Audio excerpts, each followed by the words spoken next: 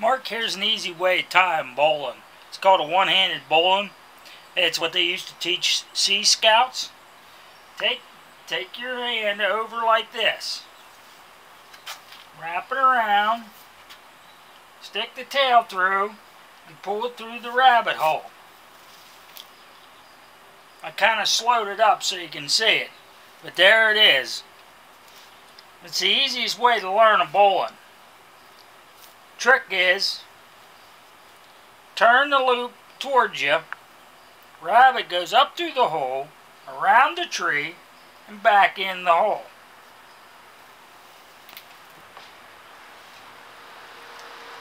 Bowline screws a lot of people up. Uh, I teach this in, for rappelling and rock climbing. I'm not trying to be a know-it-all, but if you don't practice bowline, you get rusty. So, I too am practicing.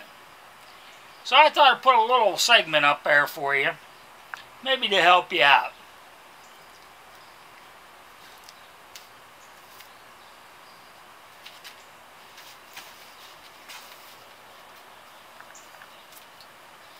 This rope's pretty stiff.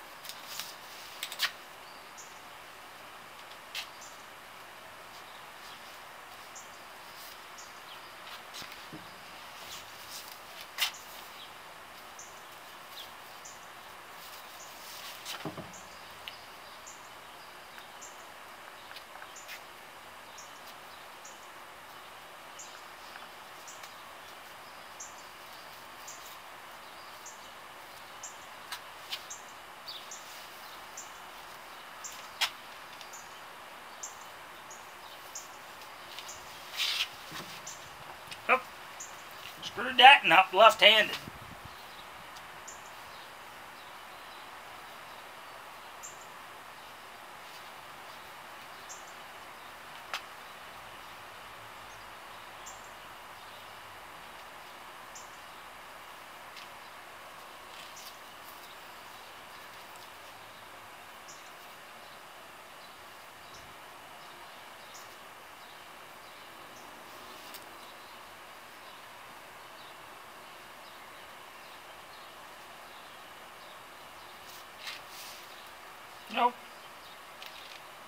Two good half hitches.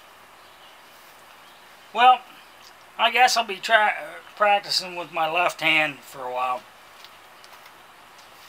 Can do it right-handed, but left-handed I stink. Catch you later. Have a good one.